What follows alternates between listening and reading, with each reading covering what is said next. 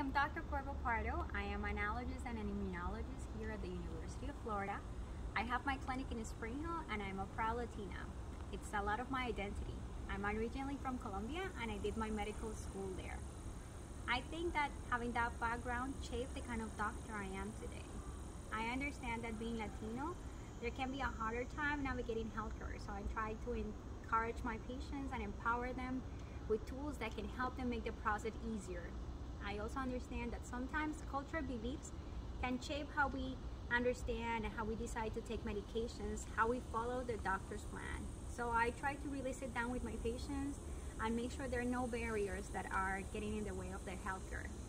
I am certified in Spanish and I conduct my visits in Spanish. So I think that really helps make that break any barrier there is between us. I try to learn about their cultures and share a little bit about mine and I'm looking forward to see any of you in my clinic.